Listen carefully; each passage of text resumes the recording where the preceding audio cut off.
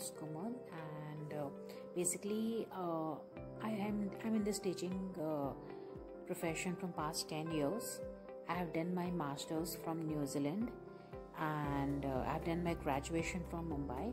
Basically, I teach students from uh, like one, two, three, four, five, and I give tuitions at my home, which is in Hinjawadi Phase Three, and.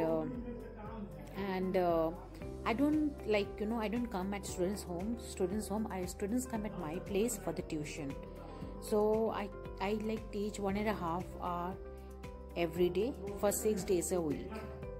Thank you